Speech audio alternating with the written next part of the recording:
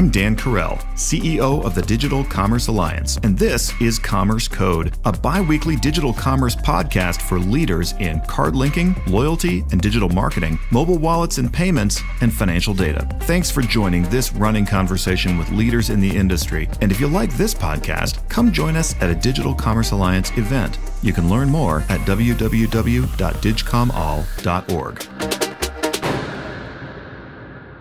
This week, Dan is talking with Rana Gujral from Behavioral Signals, a company that facilitates AI mediated conversations to bridge the communication gap between humans and machines by introducing emotional intelligence.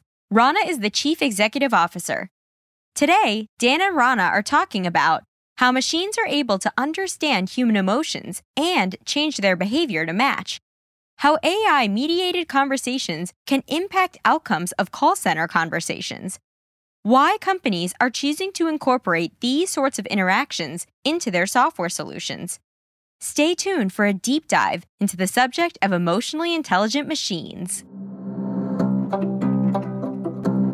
Commerce Code is sponsored by Pentadata, the all in one financial data API. Whether it is bank account data, credit card transaction data, or credit reports and credit scores, Pentadata has it all in one simple and easy to use API.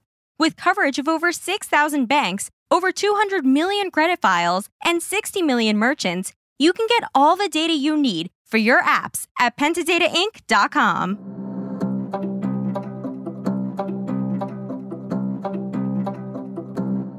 Rana, welcome back to Commerce Code. It is great to have you. And just to start off, where are you joining us from? I'm currently in the San Francisco Bay Area. And thanks for having me here. It's a real pleasure to be back. Thanks, Dan. Great. Now, today we're talking should AI be used to interpret human emotions? And, you know, if if listeners want some more backstory on this or just interested in behavioral signals, Rana was with us for episode 87 of Commerce Code. That was way back in November of 2021. So now it's been a year and a half. And over the last few decades, there's just been these moments when AI kind of went cold, you know, so investment or excitement or whatever dried up. And, you know, in the AI world, those those are called AI winters and you know i assume that you've you've maybe lived through what felt like that at times but it's got to feel pretty different right now eh yeah I've, I've been in this industry for a while and i've seen sort of like the euphoria and complete disdain and a cycle and uh, we're back in yeah well yeah exactly so I, i'd call it a an AI heat wave currently. So we've got large language models, Chat GPT, you know, big investments, big tech players, Google, Microsoft fighting over over you know what's going to become of all this. So I think it's a great time uh, to be talking with you again about what's going on in AI, and particularly in in this case, kind of machine human interactions. And so you know, I'll just frame it at this level, which is you know, AI does a lot of stuff that basically is just better software than before, but that stuff doesn't sort of touch humans directly. So maybe it optimizes a process, maybe it figures out how to uh, tailor the contents of a document better or whatever. And I think I think we probably will all react to that as, hey, that's just better functionality than we used to have, and we maybe won't think about or care whether that's machine learning or not. And so that's one thing. But then there's stuff like large scale facial recognition, or in the case of what you're doing at, at behavioral signals, we've got sort of voice recognition and analysis, but at a really interesting level. And I think that's a bit of a different animal. That's kind of what we're talking about today. So, so let me just catch us up on some basics, which is to start with, just tell us what behavioral signals technology basically does. We are a deep learning company and we're building advanced models that extract intelligence from a conversation or a dialogue. So it's a, it's a very specific area of research. Our specific focus in that particular space is extracting intelligence from acoustics of a conversation. So to better understand that in a conversation, there are two primary elements. One is the content, the spoken word, and then there is the acoustics of the conversation, such as pitch and tonal variance, prosody, intonations, or how something is being said. And we've been a pioneer in this field of behavioral signal processing, which is the technology behind how all of these things become possible. And we focus on the latter and we extract a variety of very intelligent signals from the acoustics of the conversation. And we're very proud to be the first to market and probably have the best performing technology in this space. When you're thinking about that, the, the type of signals that we can extract from a live interaction using our tonal engines can roughly be put in three categories. There's emotions like anger, happiness, sadness, and then there are behavior signals like engagement, empathy, politeness. And the third bucket is actually most interesting, which is a collection of advanced and specialized classifiers that track macro KPIs that the industry really cares about, such as identifying a customer's live uh, satisfaction score or live NPS in the moment, and identifying agent engagement, doing complex things like identifying if someone in stress or duress. And we've also built a few advanced prediction engines, such as predicting if a customer will buy or not buy, or debt holder will pay or not pay. So, fairly diverse set of applications. I mean, it can be applied in a half a dozen different industries, both in the human to human and human to machine interactions. And but we have a specific focus that we've gone after. As you describe that, some of that stuff sounds to me like things that humans can do or maybe naturally do, but you can't do it at scale and you can't gather it, you can't analyze it. And then some of it sounds like stuff that maybe we don't do or can't do or don't do a good job of. I mean, am I right about that? Is there, some aspect of like, hey, we're building machines that in part can give us insights that people can't give themselves? Yeah, so you know, you hear a lot about AI and machine learning, and a lot of what you see out there from AI machine learning is not really AI, it's just good software. But when you look at deep tech and deep learning, your primary purpose is really replicating innate human ability that is unique to humans and giving the software machines that same ability. And so, for the most part, yes, that's what the complexity is. Like, so humans are born with a natural ability to extract these signals, emotions from tone of voice. Our brains do it without any effort. Babies can do it without language skills are actually developed. And so, well, how do you actually have a machine do it? I mean, so you, first you have to understand it, decode it, build models around it, and then train machines to do something that is a very, very human thing to do and then sometimes when you teach the machines, machines not only learn, but they start to do it better than humans. And that's kind of where we're at, right? So we track it using a score called F score. And so currently our F scores are now, to be exact, is 0.92. It's higher than an average humans, which is 0.8, which means that our engines are able to do this better than an average human can. So that makes it even more exciting. Oh, that's great. I, I love the mention of babies. And I know that, you know, having having read a fair bit about AI just because it's interesting stuff, you know, it, it, makes you one of the things that I think is great about learning about AI is it makes you reflect on what we are, right? And what like how is it what does it mean to say something's intelligent? There's an old saying, uh, this is an Oliver Wendell Holmes quote, you know, he says even a dog knows the difference between being tripped over and being kicked. And there's a sense in which animals, some animals more than others, right? Just depends. We all have different kinds of intelligence, right? But some animals, you know, have a certain, they can feel it, right? My dog, I have a dog who can absolutely feel when I'm upset. And it, it bugs me because whenever I get angry, he instantly he knows it. He feels it. I think he's better wired for that than probably most humans are. And just in his particular case, we've got another dog who hasn't got a clue and doesn't care. So there you go, right? But coming back to kind of the commerce world, I can think of a lot of potential use cases here, but I want to hear it from you. Like, what is the use case that you mainly think of? Like, what's the valuable use cases you see it now? So, as I said, there are probably uh, half a dozen companies that can be built on this technology. We've gone after a specific opportunity. We've built a product we call AIMC or AI mediated conversations. And it involves building profiles of customers and call center agents based on past interactions. Think of these profiles as a conversational bioprint, and it's a complex vector file of 75 to 100 attributes that range from how fast someone speaks to various emotions and behaviors they exude in a conversation. And we can create this profile using a two minute audio interaction from the past, both for agents and clients. And that uniquely identifies how a person converses. It's as unique to a person uh, in many ways that uh, similar to as a say a fingerprint is.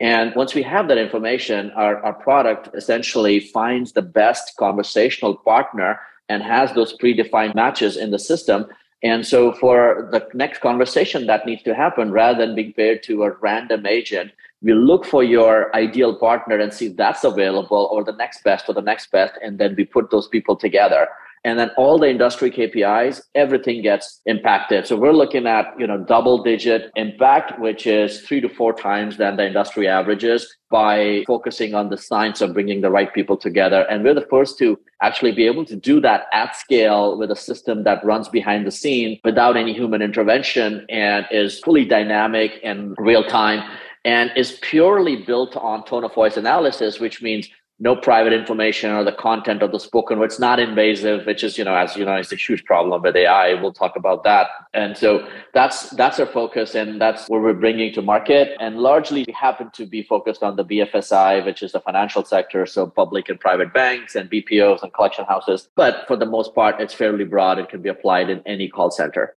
We're talking about intelligence right now, but I just realized that I'm kind of dumb because it had never occurred to me. I kind of knew it, but I didn't put the, the pieces together, Rana, that if you're doing a pure tonal analysis, that that removes a lot of the concerns, privacy stuff, et cetera. I mean, it, it raises a whole interesting new, because I don't think anyone has ever given thought to like, well, do you have a privacy interest in your tone of voice, right? As opposed to like the, the actual information you're sharing. So that's super interesting but that it does sort of solve some very real problems. And I think we're going to discover in the next decade a whole bunch of ways, as we are now, we're already working on it, but like ways in which we can disaggregate information and analyze aspects or angles of it in a way that provides a lot of insight without treading on whatever we decide people's privacy and, and information ownership rights are. And I think that's going to be an interesting ongoing conversation.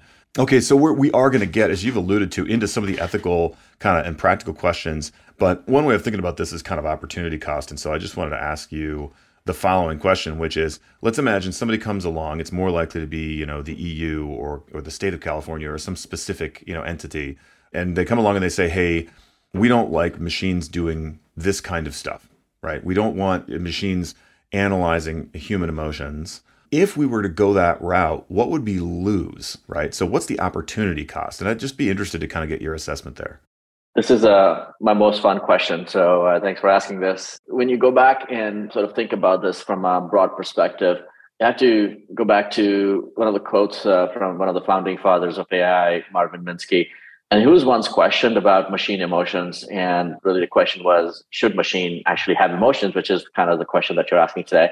And he answered by saying that the question is not whether intelligent machines can have any emotions but whether machines can be intelligent without any emotions, right? Because it's a very fundamental part of intelligence, like you actually said earlier. Can you actually even be intelligent without having the ability to understand emotions and behaviors? And the answer is no.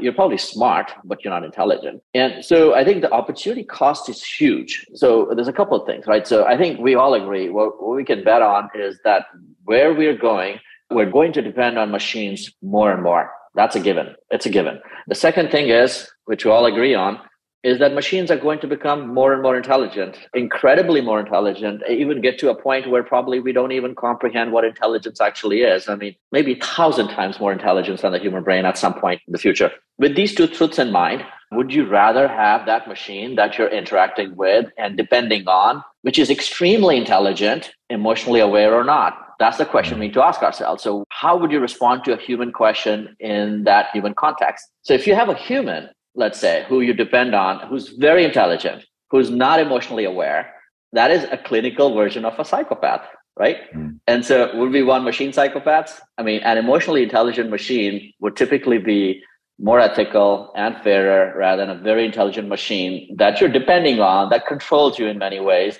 but who has no ability to process emotions. I think that's pretty dangerous. I think it's a huge opportunity cost.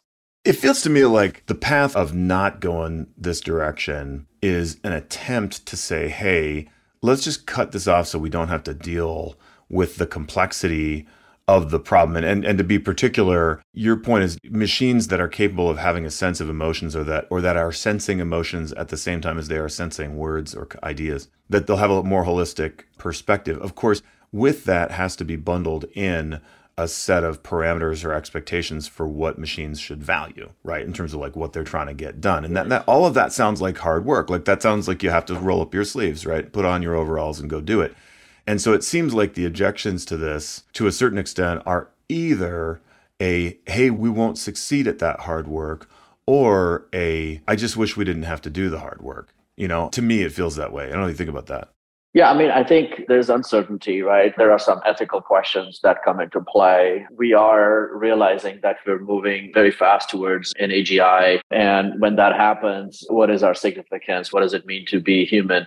And so some of the things that we have cherished and say, okay, sure, we can't do compute as fast as the machine can or process information or data, but art's ours and emotions ours. And well, we're realizing it's not really, you know, machines doing art, machines writing poems, writing story scripts, pretty good. And uh, you can't tell the difference and people like it. And so now, so there, there's fear uncertainty and doubt. And that whole FUD factor creates a lot of these concerns. And I think they're valid concerns. I mean, I think so. It's more about are we making the right decision? Are we moving too fast? Are we stopping to take some time to think through this? Or are we going into the right direction? But I think holistically, when you look at some of these things, it's a train that's left the station. Uh, it's going. You can't really stop it, but you need to understand it. You need to understand how to deal with it. And we benefit tremendously from some of those experiences. And we need to sort of magnify those and be cautious about the ones that we potentially could be harmed by. Yeah, I, think there's a, just a ton of potential here, and and it's it's its usual story of we I hope are um, happy about and we appreciate the things that have gone well over the decades in terms of making life better and making things work better because they do on balance uh, work a lot better than they used to. But there's the aspect of, you know, we, we tend not to think about all the things that don't work well until someone comes along and, and makes it work better at scale. And then you go, oh, geez, wow, that's great.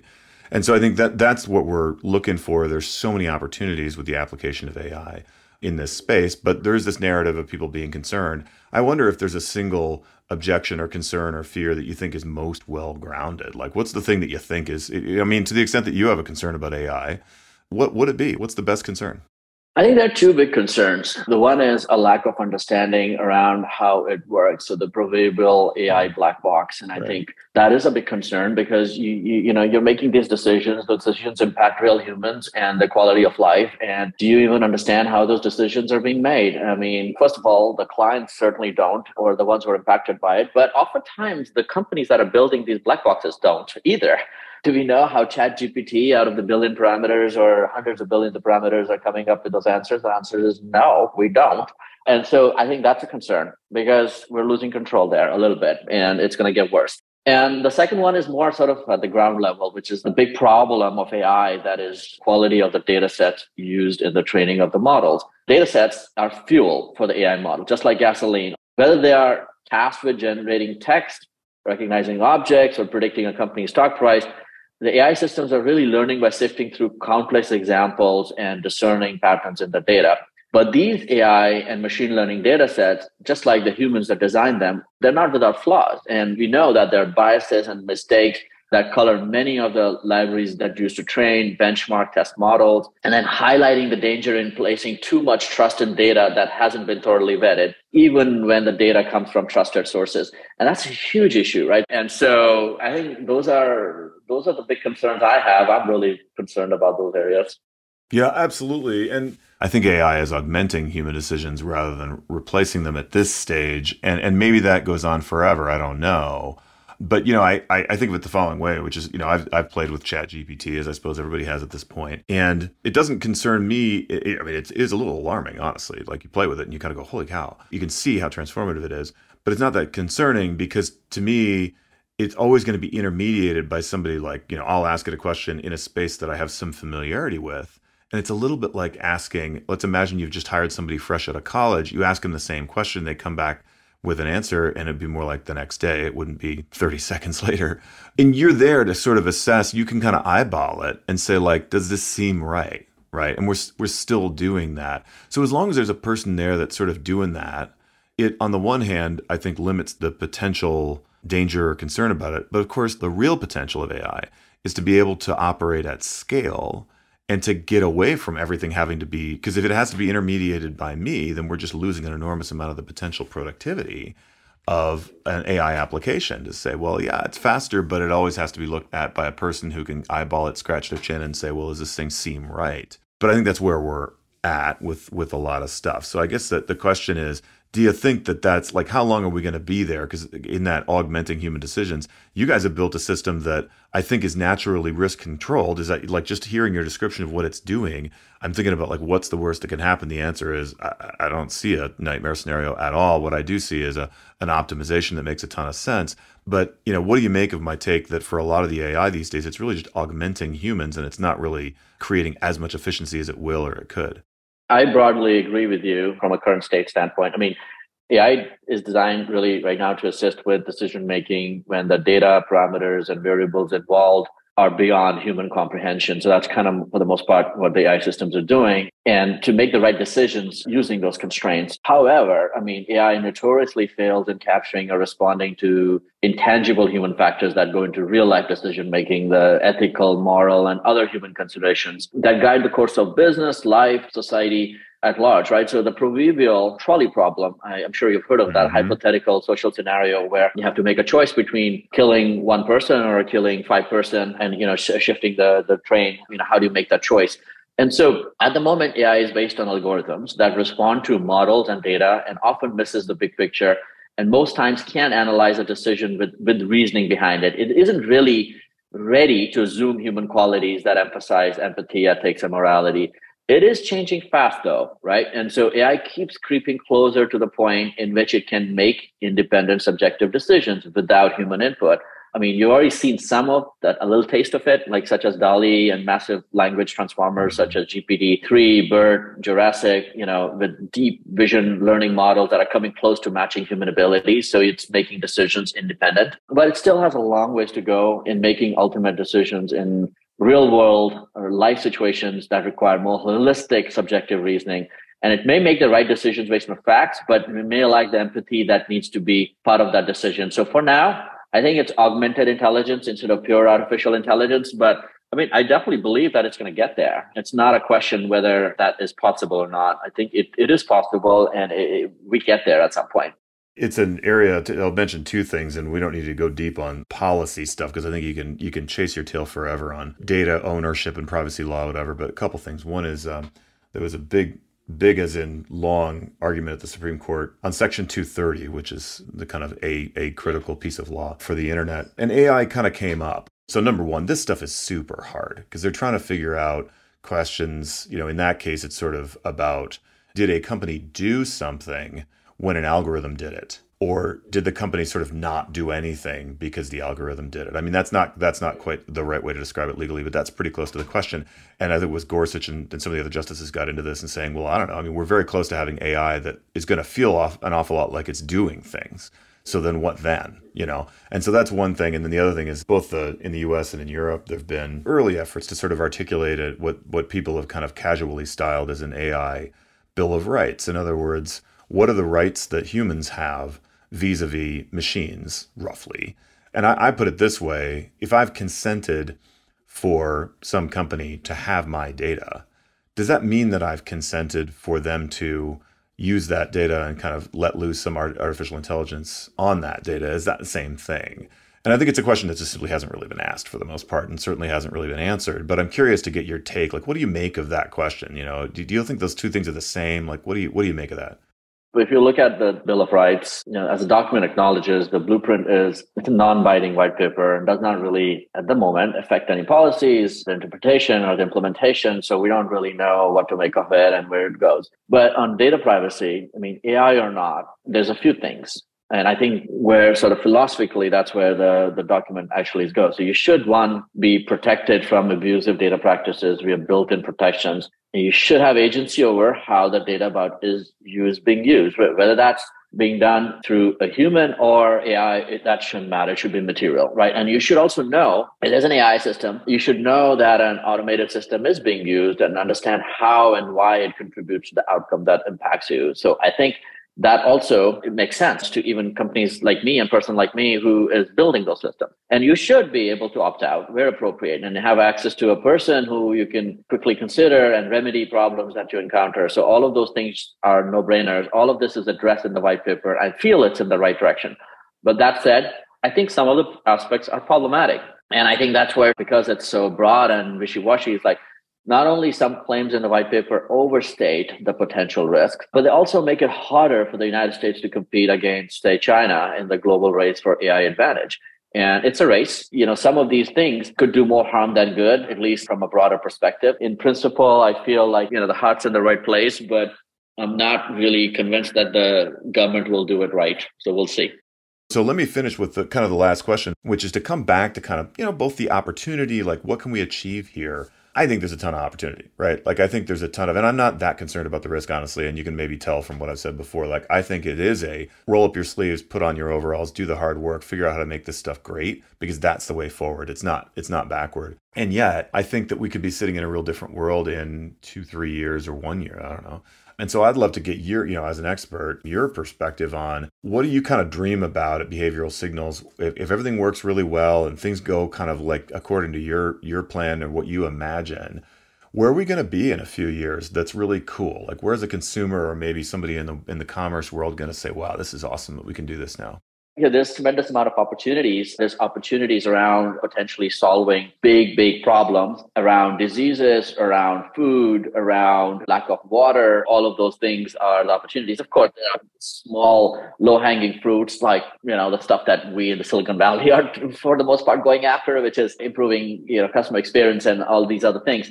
But there are other bigger problems. I mean, with protein folding and all that, I mean, we'll probably see cure for cancer and other things uh, mm-hmm. coming out really, really soon. And it's happening already. So in the next four or five years, you'd see tremendous amount of value add being created, which is super exciting how fast it's going to move. I think it's been moving really fast. As a humanity, we just started to notice it four months ago since ChatGPT came out. That's it. I mean, it's been it's been moving very, very fast for a very, very long period of time.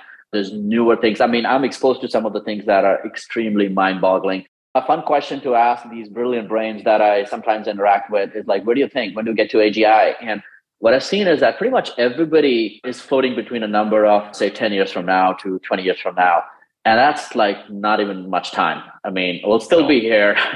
Maybe we'll be doing a podcast and there's an AGI there. And so it'd be a very different world. And so, you know, I think most people believe that we get there very, very soon there's a lot of stuff that can be done through machine learning, artificial intelligence, large language models, all of this, and in ways and areas that are well beyond what most of us would think about uh, moment to moment. And it, it, has the potential to be transformative and, and, great in terms of like what, what it can do for us in the world. So I, I'm excited about this stuff. And I think that these things get built in, you know, you call it little low hanging fruit pieces you're working on Silicon Valley, but I, I just regard it as the vast majority of economic progress happens because people took out one problem at a time. And you know you're solving something over at behavioral signals that is foundational to some other thing you haven't even thought of. And it's going to be supportive of some solution that is beyond what you're thinking about now because we're not we're not smart enough to know what those things are. Maybe the machines will be in 10 years. But uh, that's what I, am excited about. That's what i think is great and why it's fun to have these conversations. Ron i want to just say thank you for uh, taking a bunch of time today to kind of download with us and talk through some of the ethical stuff and some of the practical stuff.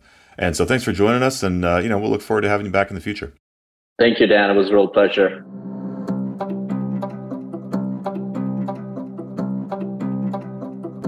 Commerce Code is brought to you in part by VantageScore. Nine of the top 10 banks and over 3,000 leading banks and fintechs use VantageScore to predict and manage repayment risk. Learn more about the latest advances in credit scoring and how to grow your lending business by leveraging financial inclusion at VantageScore.com. Imagine a world where call center machines understand customers' emotions and adjust their behaviors to match. According to Rana Gujral, today's guest on Commerce Code, the time is now. It's a fascinating topic, and we look forward to seeing where emotional AI goes from here. For more information on the role artificial intelligence plays in your ability to craft hyper personalized offers in your space, sign up for DCA's April Summit Join fellow members on Tuesday, April 11th in San Francisco and learn more about the next generation of digital offers and payments. Visit www.digcomall.org to register. Commerce Code is a bi weekly podcast bringing you conversations with executives who are leading the way in digital commerce. If you like Commerce Code, your company should join the Digital Commerce Alliance and become part of our mission of advancing trade for good through standard setting, industry networking, conferences, and best practice sharing. Check out our website at www.digcomall.org. On behalf of DCA, have a great week.